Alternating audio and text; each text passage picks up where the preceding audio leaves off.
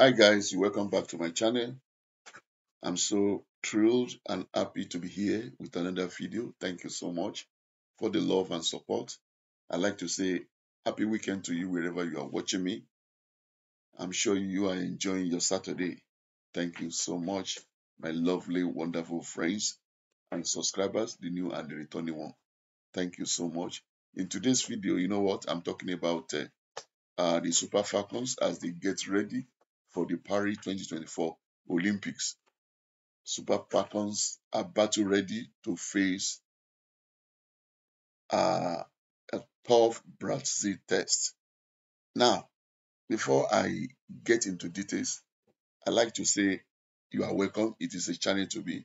If you are here for the first time, or perhaps you have not subscribed to the channel, consider to subscribe to the channel. Press the notification bell so that you don't miss out my subsequent videos. And also help and share if it is possible. To my friends, thank you very much for coming. My subscribers, the new and the returning one, appreciate you greatly. Thank you, thank you, thank you. Guys, watch the video to the end, give me a thumbs up and share it if it is possible for you to do. Okay, having said that, let's dive in into it. Paris 2024 Olympics, Nigerian Super Falcons ready for tough Brazil test. What am I talking about? As far as Paris 2024 Olympics is concerned, the Super Falcons are battle ready to take on almighty Brazil. The Super Falcons midfielder said this, and and uh, is, she is by name Toni Payne. Toni Payne expects a challenging match against Brazil in their opening game at the 2024 Olympic Games. You know, the coach Randy Waldrum and his team will kick off their campaign for a podium finish with a Group C match against the South Americans in Bordeaux on Thursday, the 25th of July. Brazil are considered one of the top football nations in the world, and there is no gainsaying about it. Toni Payne, who has been linked with a move to English club Everton from Spanish side Sevilla, believes the Super Falcons are on par with Brazil but acknowledges the difficulty of the match. Hear what she has to say. He said, playing at the World Cup was an amazing atmosphere and, and also an amazing experience, and being able to compete on the international stage with this team again is a good opportunity. I'm excited about Penny. I mean, Payne declared. Payne declared.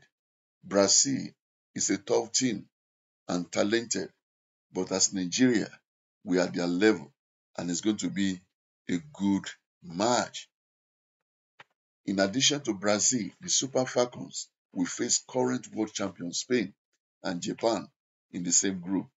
Nigeria's record at the Olympic Games has been very poor over the years. The Super Falcons have only won one of their previous nine games at the Summer Olympics game, losing the other eight. At their first Olympics in Australia 2000, the Super Falcons lost all the three games, scoring three goals and conceding nine. In the 2004 Olympics in Athens, Greece, Nigeria defeated Japan 1-0 but lost 2-1 to Sweden, finishing second in their group. They reached the quarterfinals for the first time and only for the first and only time, losing 2-1 to Germany. However, in Beijing 2008, the Super Falcons again lost all three group games, group games, scoring just once and conceding whopping five goals. Nigeria did not qualify for the 2012, 2016, and 2020 Olympic Games. So that's where Nigeria Super Falcons, that's where they are at the moment. But they are very, very confident of doing the nation proud and doing themselves proud in this Olympic. They are ready, roaring to go, and they are they believe in themselves that they are capable, capable of getting out of that group group of death where they will be facing Japan, Brazil, and Spain. Guys, what do you think? Do you think the Super Falcons are capable of qualifying from that group where they have been put? Let me know what you think about it. What is your opinion? I'd like to know. Please let me have your opinion in the comment section. Thank you so much. If you have watched me to this moment, I'd like to appreciate you greatly for giving your time up to watch this video. One more time, I appreciate everyone, everyone, every one of you for the love and support. Keep on supporting, keep on sharing, and keep on believing. Guys, in life, there is we have up and down, but if you believe in your ability, you believe in yourself, you believe you can make it, you can. You know what?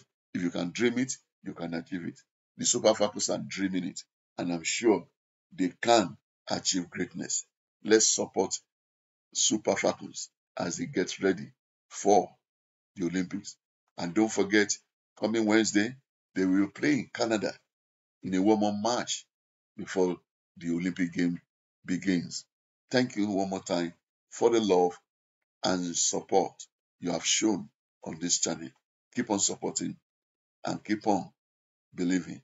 Till I come your way next time with another video, I'd like to say bye bye to you all.